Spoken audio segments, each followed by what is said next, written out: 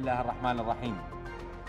نيابة عن الشعب نفتتح الجلسة. حاجز المدة الدستورية يخبئ سيناريوهات عدة على مشهد تشكيل الرئاسات وترقب لكسر الجمود واللجوء إلى طاولة المفاوضات. تعطل الموازنة العامة الاتحادية بسبب الخلافات السياسية والبديل قانون الأمن الغذائي الذي يثير لغطا كبيرا داخل البرلمان. السلام عليكم ورحمة الله وبركاته مشاهدي الأحبة. بين يوم وآخر تصدر كتلتا الإطار التنسيقي والتيار الصدري. مبادرة يقال أنها تمثل حل للانغلاق السياسي اللي تمر به العملية السياسية واللي آه، مضى عليها ما يقارب سبعة أشهر. لكن جميع هذه المبادرات لم تجد طريقها إلى قناعات أغلب القوى السياسية أو بصورة أدق لم تجد طريقها إلى قناعات زعامات الإطار والتيار الصدري. لماذا؟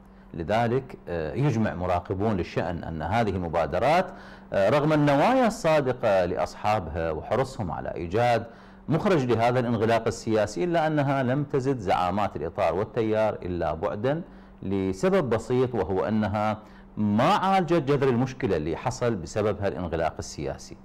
أما بالجانب الآخر أثار مشروع قانون الدعم آه، الطارئ للأمن الغذائي اللي طرح من قبل مجلس الوزراء أثار لغط كبير داخل قبة البرلمان. في وقت استغرب مراقبون من قيام الحكومة بتقديم مشروع الأمن الغذائي وإهمال قانون الموازنة. صراع جديد بدأ فتيلة يشتعل داخل مجلس النواب سبب مشروع قانون الدعم الطارئ للأمن الغذائي والتنمية. لا سيما أنه جاء من حكومة مهمتها تصريف الأعمال فقط. ليكشف آه، قانونيون أن الأمر يعد خرقا واضحا وصريحا من قبل مجلس الوزراء. مشاهدينا الأحبة بحصادنا لهذا اليوم خلونا نناقش هذين الملفين المهمين وكل تداعياتهم. مع ضيوفنا الكرام آه، ندعوكم للبقاء معنا ومتابعتنا.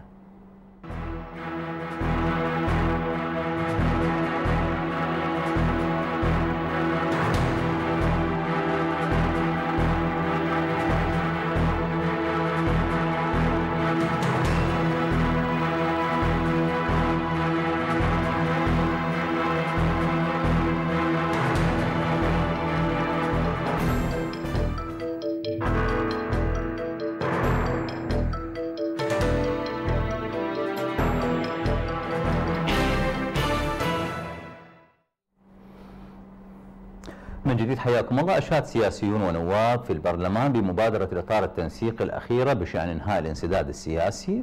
وقال النائب السابق قصي الشبكي أن مبادرة الإطار الأخيرة واقعية وشملت جميع الأطراف السياسية دون استثناء وعلى الجميع اللجوء للحوار والخروج من حالة الانسداد من أجل تشكيل حكومة تخدم المواطن. وأشار الشبكي إلى أن حالة الانسداد السياسي راح تكون عواقبها وخيمة إذا استمرت الأزمة وأن طرح الإطار حول تشكيل حكومة من المستقلين بهدف أو يهدف لحلحلة الأزمة الراهنة. خلونا نفتح هذا الملف ولكن بعد نشاهد تقرير الزملاء في غرفة الحصاد. الصراع السياسي المستمر والانسداد الكبير الذي نجم عنه واستمرار بعض الكتل السياسية بمواقفها دون تقديم التنازلات وتبني بعضها الآخر مشاريع خارجية وداخلية يراد بها التفرد بالسلطة وتهميش باقي القوى وممارسة سياسة كسر الإرادات في العمل السياسي والتشريعي.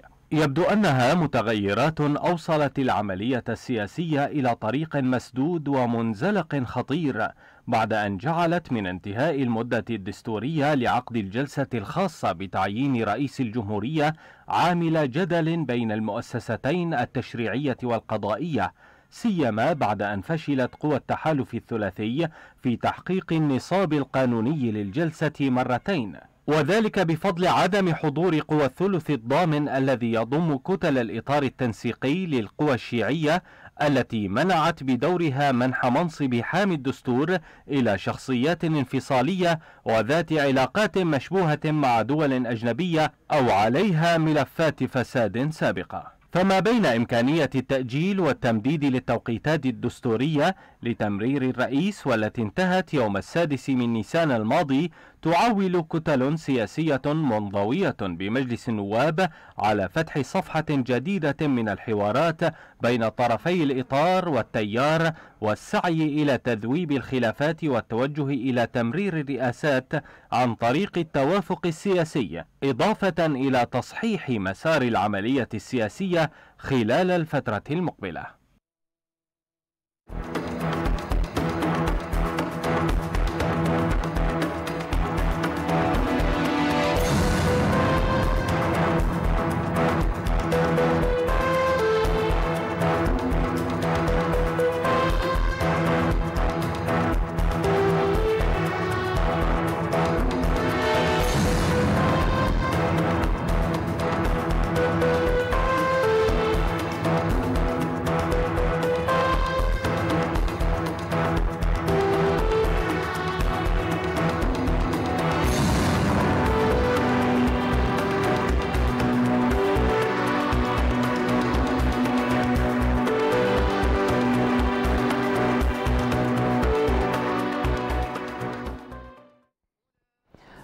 حياكم الله مشاهدي الأحبة. هذا الملف ارحب بضيوفي الاكارم الاستاذ علي الفتلاوي وتلاف الفتح حياك الله حياك الله. حياك, الله وبياك. وكذلك أرحب بالأستاذ أحمد العبد الله عضو المكتب السياسي لحركة وعي. حياك الله أستاذ أحمد.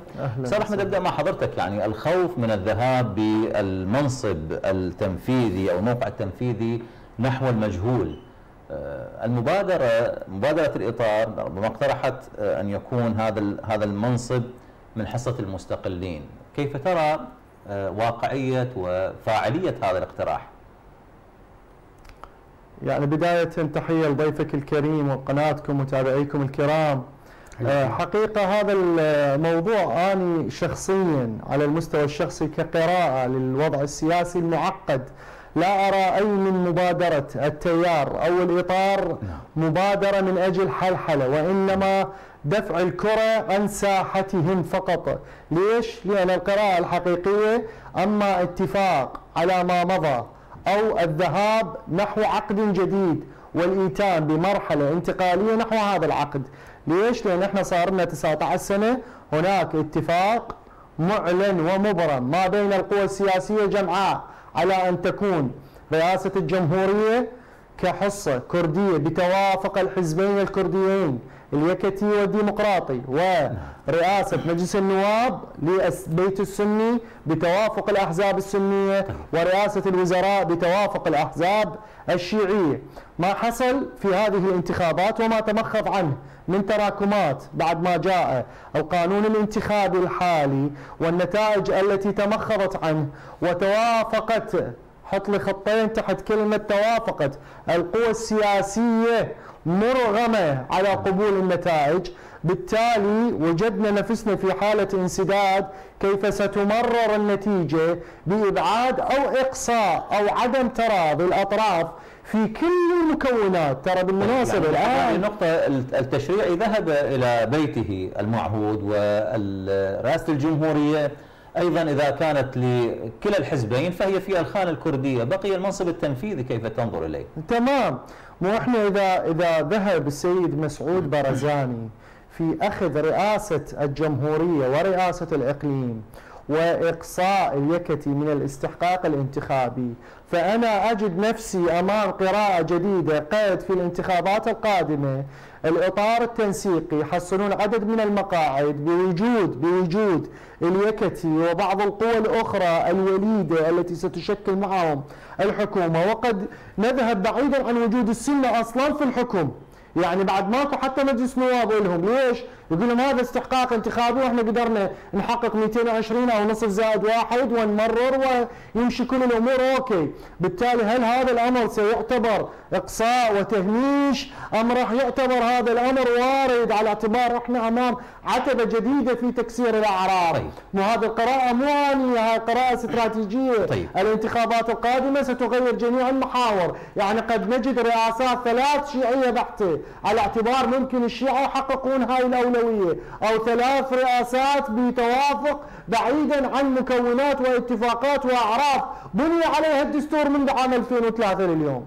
طيب. يعني هذا الرؤية خلينا ننتقل بها للأستاذ علي، أستاذ علي آه، ينظر آه، أستاذ أحمد العبد الله بأنه الرئاسات بالمستقبل راح تكون كلها شيعية رغم أنه هسه الشيعة ما سالمين على آه، رئاسة الوزراء. الكل يدعي آه، أنه له حصة فيها. طيب آه، إبقاء التنازع الحاصل بين الإطار والتيار وهذه الجدلية رغم المبادرات المطروحة الذهاب نحو النواب المستقلين واعطائهم هذا الزخم راح يجعل الرأي العام يشعر بأهمية أهمية النواب المستقلين يجعلهم إنه يتقدمون نحو هذا المنصب يقدرون يديرون هذا المنصب. موقف الكتل الشيعية فيما بعد هذه الحقبة الوزارية. يا الله بسم الله الرحمن الرحيم وصل يا رب على محمد وآله الطيبين الطاهرين. تحية لك سيدي الكريم وتحية لضيفك الكريم وتحية لجميع المتابعين الكرام في البدء نعزي الأخوة في منظمة بدر المجاهدين بفقدان قائدا فذا أبا مريم الأنصاري. الله. نسأل الله أن يتغمد روحه مع روح السعداء. صراحة مثل ما تقدم جناب الأستاذ الكريم أستاذ أحمد عبد الله بأنه آه، اليوم آه، عندما رميت الكرة إلى المستقلين هسه نتحدث عن عن عن وجهة نظر الإطار. وجهة نظر الإطار اليوم آه، الكثير من الشعب العراقي لا سيما الطرف الثاني الطرف الآخر من الأخوة التحالف الثلاثي نعم. يحاول إيهام الشعب العراقي بأنه من يتشبث بالسلطة هم الإطار الشيعي أو الإطار التنسيقي هذه المبادرة التي أطلقت من قبل الإطار والتي وافق عليها الكثير من القيادات إن كانت في داخل الإطار أو خارج الإطار أيضا أعطت رسائل ورسالة واضحة وكبيرة بأن نحن غير مكترثين للأمر الذي يطلق بأن نحن متمسكين بالسلطة ونحن من طلاب السلطة لا. اليوم رئاسة الوزراء هي من استحقاق المكون الشيعي. وهذا المكون الشيعي من ضمن جزء من عنده اللي أصبح الآن هذا الجزء ال ال ال الواضح آه، هو المستقلين. المستقلين جزء من بيت الشيعي. يعني لا نفرزهم. يعني هم أكثر الأخوة في المستقلين المستقلين هم من البطن الشيعي يعني. ما عندنا مستقلين آه، كرد نسبة قليلة وما عندنا مستقلين من السنة نسبة قليلة. إذا العموم الأغلب هو من الشيعة اللي ولدت ما يؤشر هذا الموضوع؟ نعم. إذا راحت رئاسه الوزراء للمستقلين. يعني أيضا هي بقت بالخانة الشيعية؟ لا هي تبقى بالخانة الشيعية. ليش؟ اولا الفقرة الأولى بعد بعد الأولى الثانية. الفقرة الأولى هي آه الحوار. الثانية تثبيت الكتلة الأكبر. يعني اليوم نرجع إحنا يا مستقلين ويا تيار صدري نجلس إلى الحوار ونخرج الكتلة الأكبر إحنا كشيعة ومن ثم ما نعطي ما نريد إحنا لل للإطار التنسيقي. ولا أنتم تردونها أنتم رميت الكرة وطيتوها للمستقلين. إحنا ما عندنا مشكلة. حتى نثبت بأن إحنا ما ما طلبنا الموضوع هذا خلينا نجيب لنا مستقلين. خلينا نشكل الكتلة الأكبر. لأن الكتلة الأكبر الآن هي التي تقرر مصير العراق إلى أين؟ مصير العراق اما لمن يروح؟ فلذلك اليوم الإطار التنسيقي أعطى فرصة للمستقلين وأعطى رسالة للشعب العراقي والكتل السياسية إحنا غير مهتمين للسلطة التي تحاولون أن ترموها على عاتقنا. يعني وسط كل ذلك أستاذ علي يعني أهمية المستقلين هل أن يعني الرأي العام راح يتقبلهم؟ راح يقدرون يديرون هذا هذا المشروع؟ لا أنا سياسة ضخم أنا أقول لك دور سياسة ضخم لكن أنا على يقين بأنه هم غير ناجح ما يقدرون ينجحون. لعدة ليش أنا أقول لك لا هذا اولا مبادرة هاي. مبادرة. إحنا من باب من باب بانه نريد حلحلة. نعم. ليش؟ يعني المقابل الثاني لحد الآن يقول لك أنا ما أريد رئاسة الوزراء من من من الإطار التنسيقي. ما ما أريد رئاسة الوزراء. للعلم هو الإطار التنسيقي الآن هو أكثر من 80 اذا لديه الاستحقاقات هو هو البطن الشيعي الكبير. فلذلك اليوم هذا التنافس ما بين الاطاري والتيار. إحنا بالنسبة كإطار تنسيقي نقول نستخرج آه، رئاسة الوزراء من من الشيعة لكن مو إلا شغلة من الإطار مو شرط من الإطار. اختاروا أنتم يا تيار صدري هذا بالمناسبة حتى هذا كلامنا متوجه للتيار اختاروا رئاسه الوزراء وتحملوا مسؤولية ما عندنا مشكلة. بس طرحوها علينا. خلينا نطرح يعني اليوم لا تتفرد برأيك اليوم كجزء من الشيعة تتحكم بمقومات المستقلين اللي هم الشيعة وتتحكم بمقومات الاطار التنسيقي اللي هو الشيعة. يعني اليوم إحنا نريد نثبت اولا الكتلة الأكبر على ضوء يمكن استخراج رئيس الوزراء. ماكو فد مشكلة كبيرة. فلذلك اليوم الإطار التنسيقي أو الإطار الشيعي من سعى وقدم هذه المبادرة أعطى نقاط للحلحلة وأيضا أعطى التزامات على رئيس الوزراء أن يعمل كذا وأن يكون اختياره كذا وشخصيته كذا، يعني أيضا من احترامات لكل مستقلين، مو كأن من يكون مستقل اليوم يجب أن يأتي ويجلس، قد يكون ما تتوفر مستقل في هذا المستقلين، احتمال يكون تفاوض على الموضوع هذا. بين هذه الشخصية حقيقية قادرة عندها يعني باع سياسي عن تدير آه، ملف مثل الدولة الآن الذي أصبح به الفساد تسكم النفوف الأنوف. يعني مستحيل.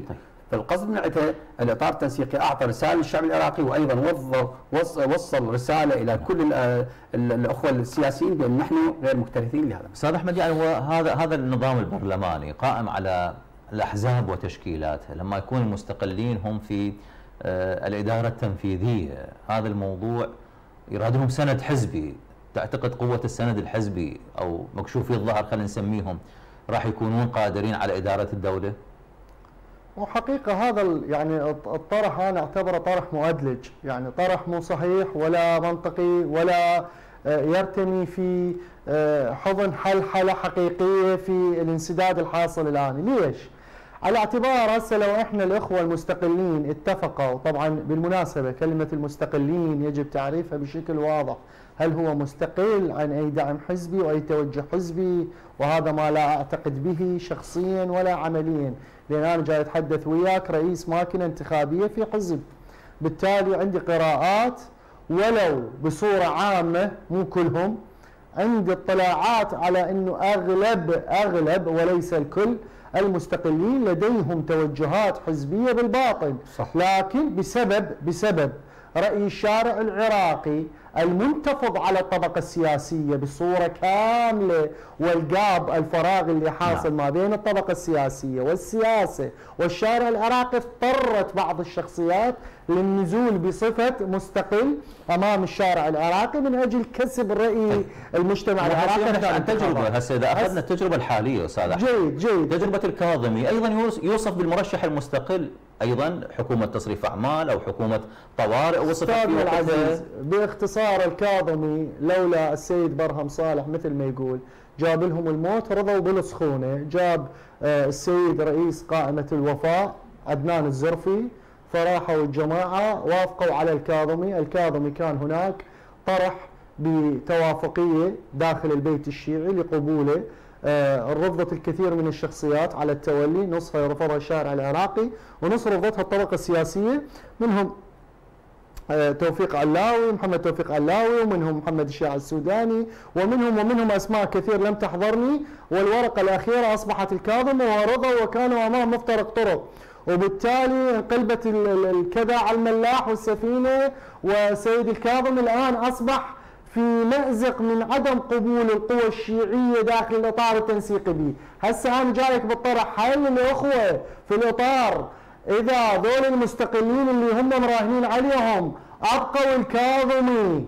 الشخص الغير محبب داخل الإطار التنسيقي والغير قابلين به بسبب المشاكل والإرهاصات اللي حصلت منذ تولي الحكومة واختتامها بالانتخابات والنتائج. مو أنا هذا اللي اسالك عليه أستاذ أحمد يعني. نعم، هل العراق يرضون يمر بأزمات- بنتائج دول الكلام يكون اسمح لي أستاذ أحمد. العراق لما يمر بأزمات متعددة بالتالي يحتاج إلى رئيس حكومة قوي قادر مسنود حزبيا يستطيع إخراج العراق من هذه الأزمات.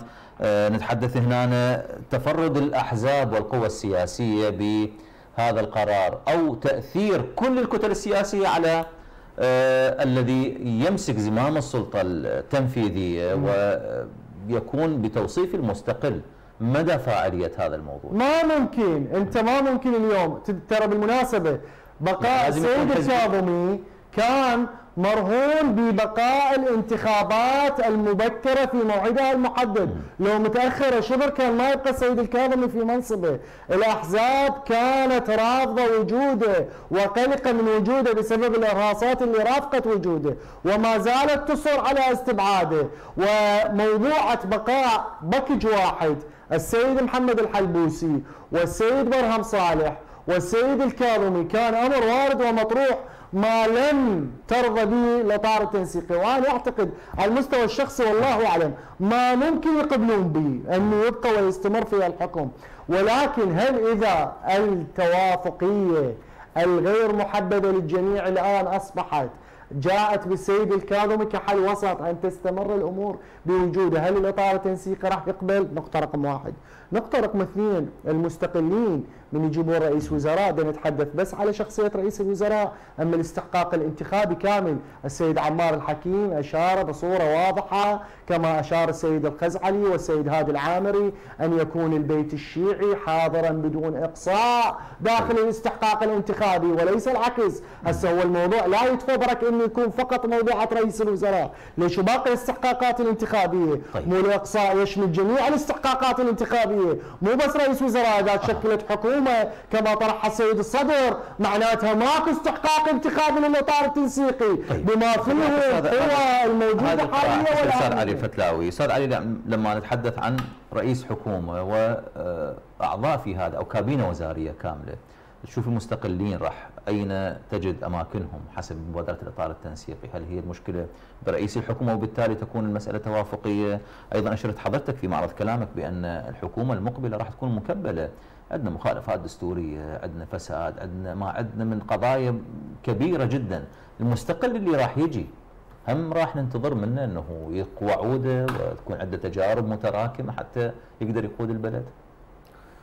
شوف أستاذ أنا قبل قليل كان حديث مع الأخوة بأنه إحنا كل العمل السياسي النظام السياسي الموجود عندنا مبني على هشاشة ضعيف ضعيف جدا ولا تتوقع بأن يرتقي إلى المستوى الذي يصبو إليه العراقيين أو العراقيون. ما لا تتوقع ليش؟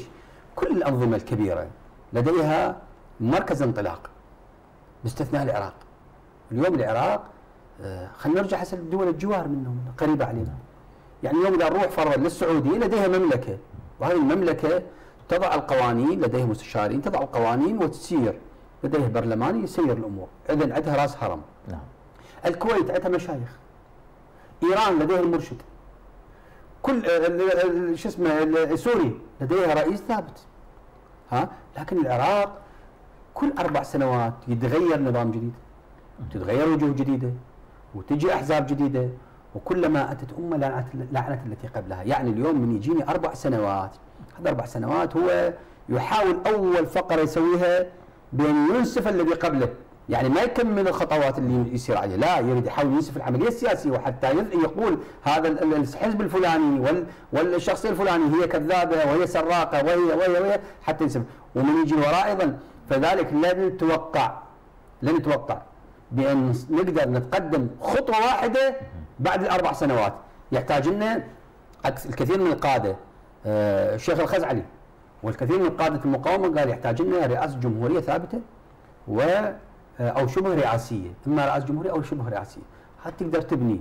بينما أنت الآن برهم صالح اجى هشيار زيبار طلع هشيار زيبار اجى فؤاد معصوم طلع فؤاد معصوم اجى يعني اليوم عملية تدوير الأسماء نفس الحزب بس الحزب اليوم شو يحاول؟ يحاول يفيد العراق؟ يفيد العراق. والدليل على أنه اليوم فرضا رئيس جمهورية إيش فاد؟ فاد بغداد فاد العمر فاد بس بس محافظته. ونفس الشيء الحلبوسي ونفس الشيء اللي قبله. يحاول يفيد ناسه. فلذلك اليوم العملية السياسية سيئة. نعم مثل ما قلت أنت اليوم نحتاج لنا شخصية حقيقية بها بها ال- ال- المواصفات التي طلبت من قبل الاطار على ضوء يقدرون يدعمونها بعد أن تشكل الحكومة الأكبر. يعني بين قوسين يتحمل اليوم إذا أخذت على نظام الإطار بأن نحن نريد نمشي على نظام الإطار. تتحمل يا إطار هذه التبعات باكر تتعرون قدام المجتمع العراقي إن كان كردة وإن كان سنة وإن كان شيعة إذا وافقوا فخلي تحل. وإذا كان تيار صدري كذلك يا تيار صدري أنتم من دعيتوا المستقلين أيضا. باكر تتعرون قدام المجتمع وتقولون نحن من أتينا بالمستقلين؟ ما عندنا إشكال. تردون تقول لا خلينا نتفق الآن نتحمل مسؤولية. يتحمل مسؤولية. طلع يا سيد الصدر طلع رئيس وزراء من عندك. أنا موافق عليه بخ... جعفر الصدر. ها؟ جعفر الصدر ط- طرح اسمه ك سيد إحنا ما ما عندنا مشكلة اليوم. حتى هو متصل السيد مقتدى صدر بالسيد المالكي. ما كان مشكلة لكن المشكلة كانت على الاليه بان اليوم السيد الصدر شراد أنا مرشح آه، السيد جعفر الصدر توافقون عليه ولا ما توافقون؟ مو هيك يعني توافقون عليه وشنو توافقون عليه؟ يعني وافقنا عليه ورحنا صوتنا على رئيس جو... على رئيس الوزراء السيد جعفر الصدر ورحنا وص... آه، صوتنا على آه، أي شخصيه يختار الافراد أنا دوري شنو؟ وين دوري؟ لا أنا كتله اكبر لا أنا برلمان لا أنا لجان لا أنا عندي وزارة. لا أنا عندي رئاسه وزراء. لا كل شيء ما عندي. أنا كأنما تريد تخليني آه، جسر تعبر علي وهذا خب مو صحيح. خل نقعد أنا وياك جالسين. ونضع لنا نقاش للحوار ونشكل الكتلة الأكبر كإحنا شيعة. وعلى ضوء ننطلق ننطلق للشيعة وننطلق السنة السنة كملت موضوعها تقول لك إحنا ما عندنا إشكال. ننطلق للكرد. من هذا ملفنا راح نشوف إنه آه، المبادرة في آه، التنازل لرئاسة الحكومة للمستقلين. تؤتي أكلها؟ لا ما تؤتي كلها ما تؤتي. كلها ليش؟ أنا أقول ليش؟ اولا مبادرة. هسه أنا أقول لك. هل هي حسن نوايا؟ حسن اولا حسن استماله لل- للمستقلين. هسه أنا أقدر أفرز كما أفرز هذه الورقتين. أفرز عن التيار الصدري وأفرز عن الإطار التنسيقي، أيوه. الإطار التنسيقي قدم مشروعه بسلاسة. عكس التيار الصدري الذي قدمه بتهديد ووعيد وتكابر وتعالي. يعني اليوم تردون تصيرون وياي أنتم مستقلين. تردون تروحون لي غاد أنتم ذنبكم عليكم.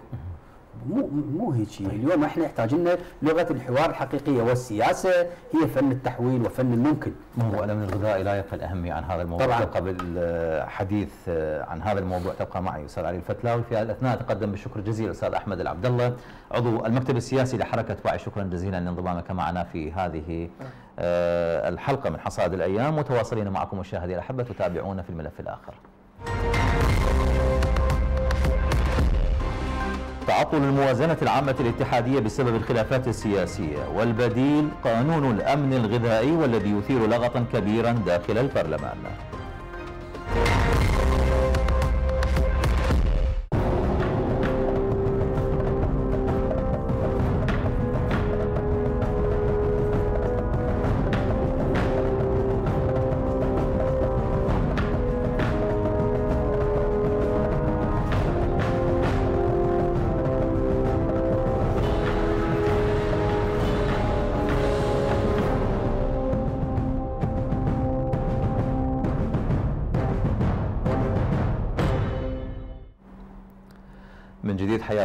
البرلمان لسن قانون استثنائي يعالج تأخر الموازنة ويتضمن مواد تواجه الأزمة المالية وتوفير الأمن الغذائي إضافة إلى مشاريع جديدة.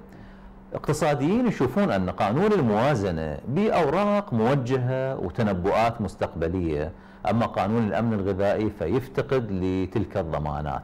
كان الأجدى بالحكومة حسب رأيهم إرسال مشروع الموازنة. ملفنا الثاني خلونا نناقش هذا الموضوع بأبعاده المفصلة. لكن بعد أن نشاهد تقرير الزميلة نهى الشمري. وسط أزمات الواقع السياسي التي حلت تباعا مطالب الشارع العراقي تتعالى بحل العقد الحالية التي تعيق إقرار الموازنة.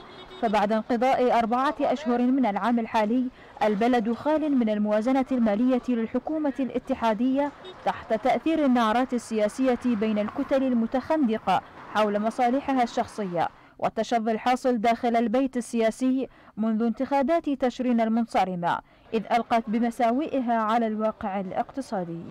توفرت سيولة مالية ضخمة ممكن. هاي فرصة ذهبية للعراق لاستغلالها آه، للتنمية الاقتصادية السريعة للبلد. وهذا كله طبعا يتطلب تشكيل آه، الحكومة ويتطلب دعم الجهات التشريعية والجهات التنفيذية. لإقرار الموازنة وإقرار القوانين اللي تتعلق بالتنمية الاقتصادية للبلد. فلا حل أمام البرلمان الحالي الذي جاء من دون إنجازات تذكر إلى هذه اللحظة إلا الإسراع بتقديم الموازنة لإقرارها. في حين يرى متابعون عدم إمكانية إقرار قانون الأمن الغذائي بدلا عن الموازنة. وبحسبهم أن تمرير هذا القانون له تداعيات سلبية لما يعطي للحكومة صلاحيات التصرف بالمال العام وبالتالي يسهم بالالتفاف على الموازنة العامة للبلد. قانون الأمن الغذائي آه، كمختص في مجال تعزيز النزاهه ومكافحة الفساد هنالك شكوك كبيرة بأي قانون مالي بدون وجود حكومة وهنالك أكيد شبهات فساد. آه، لأن نعرف الآليات بعمليه التعامل. الأمن الغذائي يجب أن يدار من قبل لجنة وزارية وليست لجنة سياسية لجنة وزارية بأطراف محددة حتى يكون تكون هذه اللجنة مح- آه، محل مساءلة ومحاسبة وقياس آه، للأداء. وفي ظل ارتفاع أسعار النفط وكذلك رفع صرف الدولار الذي جاء تحت ذريعة موازنة الاختلال الحاصل في اقتصاد البلد إلا أنه ما زالت الموازنة معلقة بين الإقرار والتأجيل. تتأرجح على خطى تشكيل الحكومة وحل النزاعات الراهنة لتأتي بدورها مساهمة بحل المشكلات المالية. نهى الشمري الأيام الفضائية.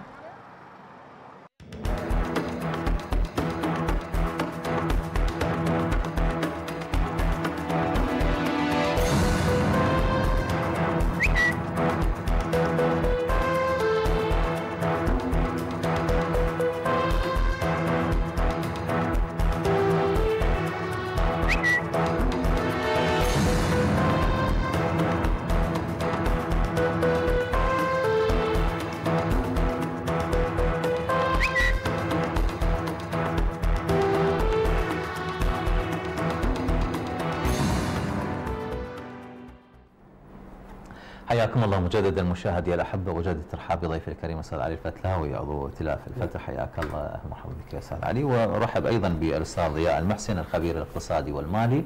حياك الله أستاذ ضياء. ابدا مع حضرتك يعني هل تعتقد أن مجلس النواب ماضي بإجراءات تمرير قانون الأمن الغذائي رغم اللغط الكثير والكبير الذي أثير حوله؟ صراحة آه، إذا نتحدث عن البرلمان الحالي الموجود هو سوف يمرر هذا القانون. يمرر هذا القانون لعدة أسباب. السبب الأول هنالك توافق واضح أو اتفاق واضح ما بين التحالف الثلاثي والحكومة الموجودة الآن تصريف أعمال. طيب. والدليل عندنا أدلة كثيرة بأن اليوم آه، جميع اللجان في داخل قبة البرلمان أخذت للتحالف الثلاثي. يعني اليوم كإطار وكمستقلين وغيرهم ما- ما عندهم فد آه، لجان خاصة اللجان المالية والرقابة وغيرها فذلك قد يمرر من 50 زائد واحد. 50 زائد واحد مكتمل الآن في. لكن اليوم إحنا آه، آه، نضرب على وتر وهو ضمير العراق والعراقيين.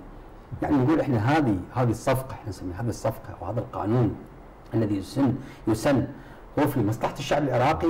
هسه في مصلحة الشعب العراقي كيافطة كماشيته. لكن واقعا هو غير ذلك. غير ذلك بكثير من الأمور. اولا لا يحق للحكومة الحالية آه، عقد هكذا اتفاقات أو صفقات وتمريرها من خلال. يجب أن يكون تكافؤ. اثنين أين دور المعارضة الذي ينشدون يعني هو بيقول لك إحنا نريد معارضة. أنا هذا القانون ما مقتنع به. أنا مقتنع به. أعطيك سلبياته أعطيك ايجابياته لكن سلبياته كثيرة. واحدة من السلبيات بانه هذا راح يجعل العراق آه، غائرا في بحر الديون. يعني أنا لحد يوم 2025 بعدني مطلوب وراح تجيب لي دين اكبر من دين وتخلي فوق رأسي. وكل هذا وتقول لي لا في مصلحة الشعب. لا أقول لك مو مصلحة الشعب العراقي. خلي خلي خلي يطولنا يطول مجال ونشوفهم شنو سلبيات هذا عن طريق البرلمان طبعا. ونشوفهم شنو سلبياته. أفضل ما تأخذه في هذا الوقت وأنت ما لك حق تعقد في صفقات ولا تمرج قوانين. طيب أستاذ ضياء يعني وجهة نظر الكتل والأحزاب المؤيدة لمشروع الأمن الغذائي وهذا القانون أنه يحقق الأمن الغذائي يخفف من مستوى الفقر في العراق يحقق الاستقرار المالي إلى أي جهة تميل حضرتك ولماذا طبعا نعم بسم الله الرحمن الرحيم وسعد الله مساك أستاذ أحمد نور مساك تحية. طيبة حياك الله. للأستاذ الفتلاوي وشكرا لقناتكم الكريمة بس فقط ملاحظة بسيطة فيما نعم. يتعلق بالأمن الغذائي اللي مرسل إلى مجلس النواب. الآن مجلس النواب ما بي لجان دائميه، كل اللجان الموجوده هي لجان مؤقتة. هذه اللجان المؤقتة لا يمكن ان أن تمرر قانون قانون كقانون الأمن الغذائي. قانون الأمن الغذائي من الاسم مالته هو يحاول إنه يأمن ال- الأمن الغذائي للمواطن، الأمن الغذائي شنو يشمل؟ يشمل الغذاء زائد الدواء، بقية الأمور ما لها علاقة بها القانون. بقراءة بسيطة آه، أولية. للقانون تجد أن القانون بالديلاجنات يتحدث عن هكذا آه، تأمين الغذاء للمواطنين لكنه بالتفاصيل والتفاصيل دائما الشيطان يكمن في التفاصيل. تجد أن كثير من الأمور أ- أ- أدخلت ولا أعتقد السيد السيد علاوي وزير المالية يتحدث عن إنه بعض الفقرات آه، ادرجت بدون علم وزاره المالية. وهذا وهذا لا يمكن أن يكون. ليش؟ لأنه وزاره المالية آه، بي- بيد- بيدها ال- ال- النفقات. فلا يمكن أن تقوم اي أي الحكومة بإدراج هكذا مواد بدون موافقتها، هذا أمر.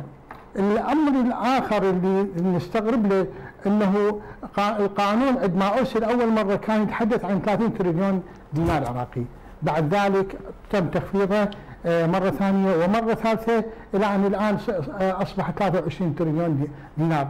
أنا من ألاحظ من ألاحظ هكذا تخفيض هكذا تخفيضات. يعني أول ما يخطر في بالي أو أوجه الفساد اللي كان ممكن تروح فيها تروح إلى هاي 7 تريليون. وبالتالي من الممكن أن تكون هناك مبالغ يمكن تخفيضها أكثر. ال- الحكومة حكومة السيد الكاظمي كان بإمكانها كان بإمكانها مخاطبة مخاطبة مجلس النواب لمنحها صلاحية لإرسال الموازنة اللي هي أكملت إعدادها قبل الشهر العاشر من عام 2021 إذا إذا مف- مفصلة على وفق الوزارات الحالية. تمام. يضمن إنه الوزارات اللي تجي راح تتفصل نفس التفصيل. أحمد تعرف إن الآن إحنا راح نقترب من النصف الأول من من من, من العام. نعم. بالتالي حتى حتى الحكومة الجديدة اذا اذا إذا قيد لها ان ان ان ان ان, أن, أن تخرج إلى النور فبالتالي هي ما ما تقدر إنه تشتغل آه، إلا على وفق مو- موازنة ال- ال- ال- ال- اللي اللي مثلا صرف واحد على 12 تقاط. على أقل تقدير. بالتأكيد تمام فبالتالي إحنا إحنا نح- نحتاج نحتاج بدلا من قانون الأمن الغذائي اللي هو ما لا لا يمكن أن يكون بديلا عن الموازنة لأن ال- أبواب الموازنة أبواب متفرعة وكثيرة ومتعددة لا يمكن أن يغطيها قانون الأمن الغذائي. يفترض بالسيد الكاظمي اكرر مرة ثانية يفترض به أن يقوم بمخاطبة مجلس النواب لمنح صلاحية طيب. على ارسال الموازنة وقراءتها من مجلس النواب ثم إقرارها نعم أستاذ علي يعني وفقا لما تفضل به آه، سيد المحسن آه، بالمقابل إنه القوى النيابية اللي أشرت إلى حضرتك إنه المناوئة والما قابلة على هذا الموضوع أشوف إنه بهدر كبير ذريعة للقوى المسيطرة على البرلمان بأنه راح تهيمن على آه، يعني آه، قرار.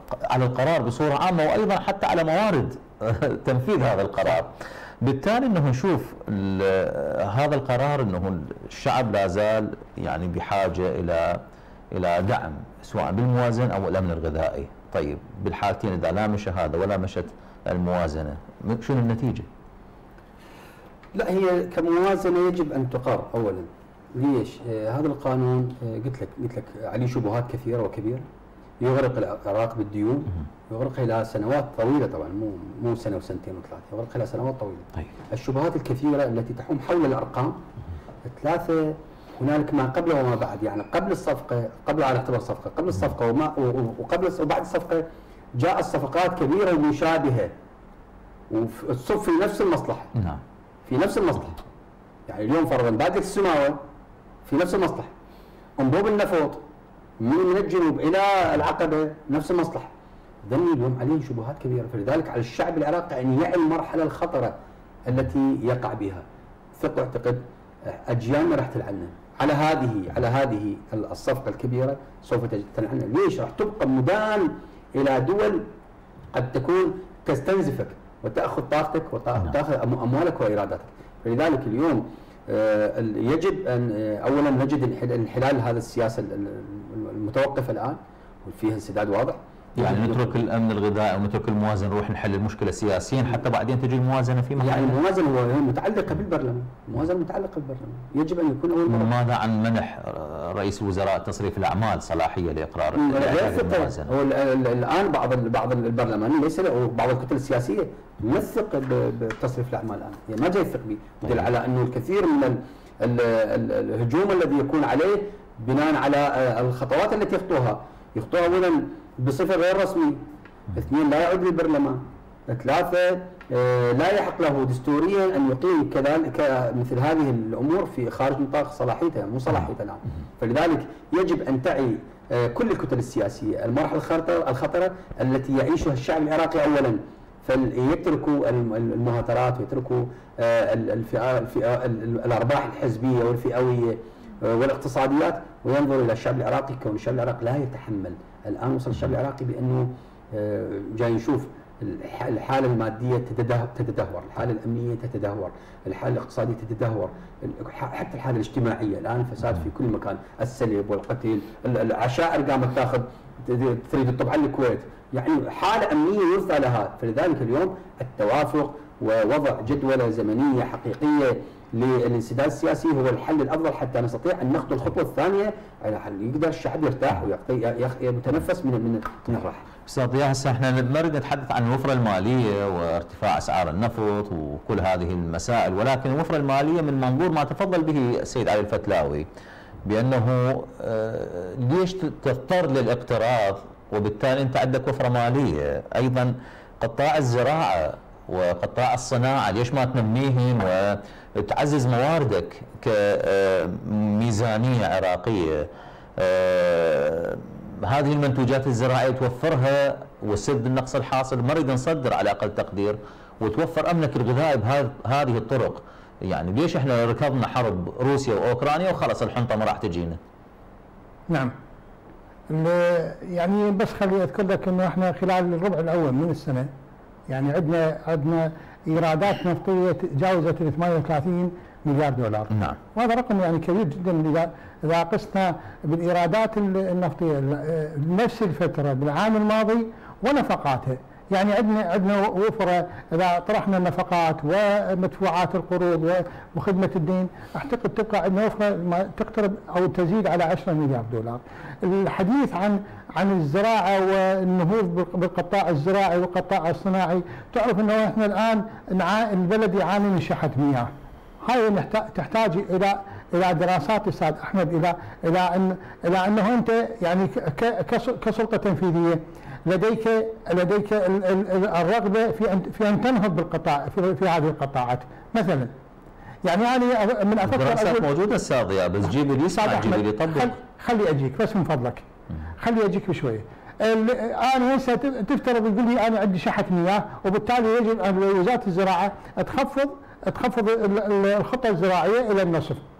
مو يعني عندي عندي عندي بديل مثلا عندي الآبار الارتوازيه اثنين عندي تحليه البحر.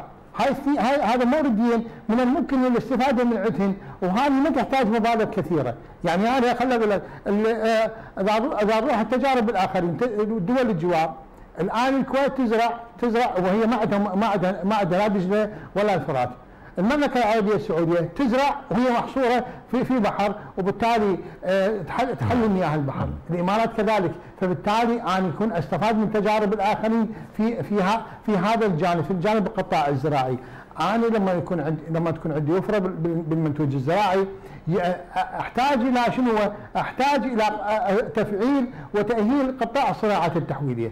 هو هذا حلقات مترابطة واحدة مع بعضها. لذلك أنا شغل أقول إنه ما تكون هناك رغبة لدى, لدى السلطة التنفيذية للعمل سوف تعمل لكنها يبدو أنه ما عندها ما عندها هذيك الرغبة.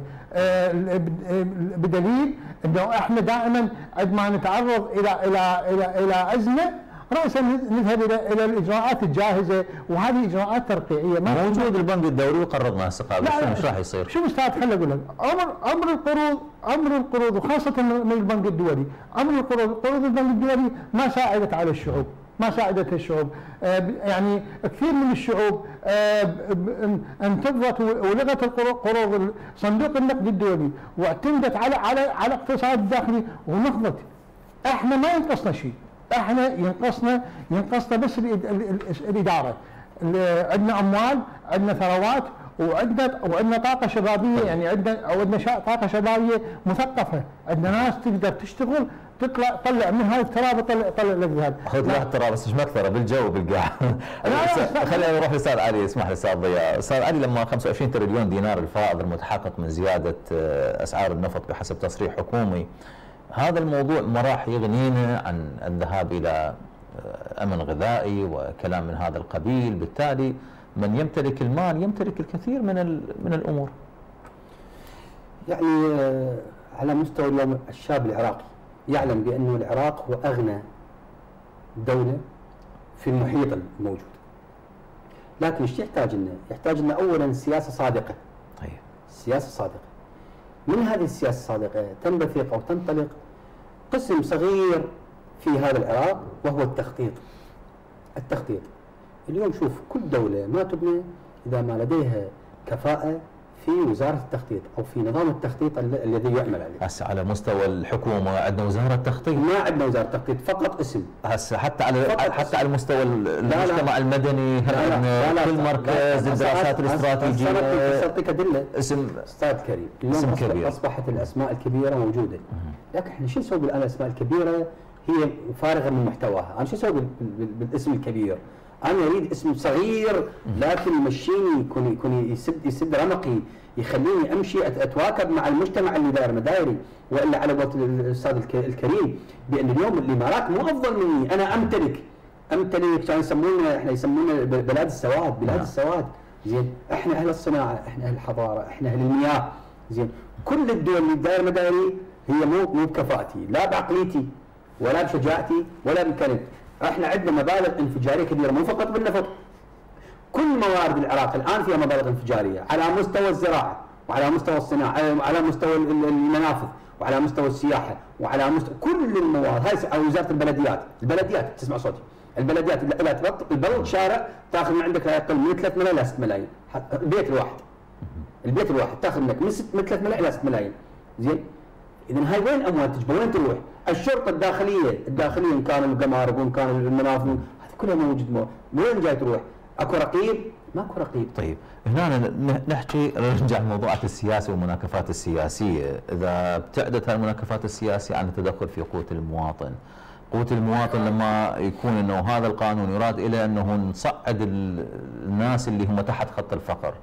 فيبدو من كلامك يا أستاذ ضياء أنه راح نزيدهم فقر بل حتى اللي فوق خط الفقر راح ننزلهم تحت خط الفقر، بالتالي المناكفات السياسية ما نقدر نخليها فقط للسياسة وخانة القوت نخليها وحدها. يعني شيء مرتبط بالشيء. اليوم العمل بالضد موجود. بالمناسبة قلت لك أنا قلت لك ال- ال- النظام العراقي والسياسة العراقية ما تبني على أساس التطوير نعم. تبني على أساس التهديم يعني اليوم من تجي هاي الأربع سنوات راح يلعن قبله. نعم. مو بس راح يلعن يلعن على والدي حتى الله وكيلك مو بس يلعنه يلعنه بسجن ويأذيه ويطلع عليه خب انت كمل كمل علي عليك انت اليوم انت اعطيتني هذا هذا المقدار. نعم انت في خانة السواد انت في خانة السواد. اليوم أنا راح أبني على المد... أبي- الشعب العراقي يرى وينظر و... و... ويعطي ويعطي الإجابة يعطي سلبا وايجابا فذلك اليوم هذا العمل بالضبط موجود. من 2003 إلى هذه الدقيقة وحتى هذا الانسداد السياسي هو سبب ضد. يعني اليوم خلينا نشيل فلان نكمل العملية السياسية. أنا اليوم عندي عندي مرتكزات، عندي الهدف، هذا الهدف يجب أن أسير نحوه، ما توقفني ع- اي اي, أي, مسمى ما يوقفني، إذا فعلا جاد في كلامي وردبني ما يوقفني، لا على حسين ولا حتى أكبر من على حسين، عندي هدف اريد امشي له، أنا مو القصد مثلا لما اقصيك على مود اذلك واتجاوز عليك واتعال عليك بالدكتاتوريه وال- والكذا، لا مو صحيح، اليوم تريد تبني أنا هاي إيدي ممدوده للبناء. وإذا خطأت نتحاسب نتحاسب الشركاء لكن اليوم لا يبنى العراق بالمعاون بل يبنى بالأيادي النظيفة ويبنى بالأيادي القوية والسواعد المتحملة. المعول أصبحت للتهديم ولكن على أي حال إحنا أشركنا متابعين موقع قناة الأيام الفضائية في سؤال آه هذه الحلقة وهذا الملف. هل تعتقد مشاهدي الكريم أن تعطيل الموازنة بسبب الخلافات السياسية الحالية وعدم تشكيل الحكومة 60% من الإجابات قالوا نعم و25% قالوا كلا و15% تحفظوا على الإجابة. الأستاذ علي فتلاوي عضو ائتلاف الفتح شكرا جزيلا. لحضرتك آه لهذه الإثراءات المعرفية والأستاذ ضياء المحسن الخبير المالي والاقتصادي شكرا جزيلا لهذه آه الإيضاحات المهمة وشكري موصول لكم مشاهدي الأحبة على حسن المتابعة في أمان الله.